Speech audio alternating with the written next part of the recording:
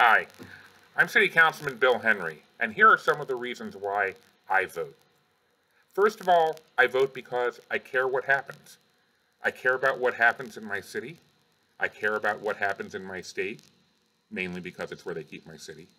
And I care about what happens in my country. I know what kind of impact the government can have on our lives, and I've always wanted to do what I could to ensure that we have the best leaders and representatives in place. Just as importantly, I vote because I know that my vote can matter. I've seen city council races decided by less than 10 votes, right here in Baltimore.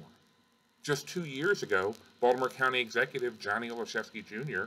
won the Democratic primary by 17 votes out of 87,222 votes cast. 17. That's 0.01949%.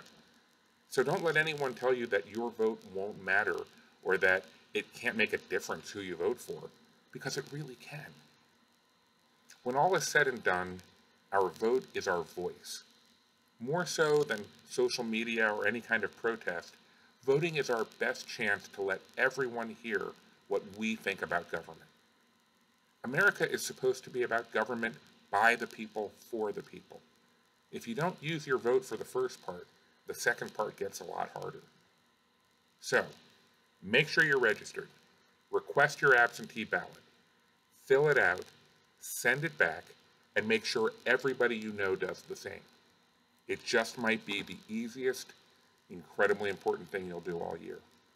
Thanks.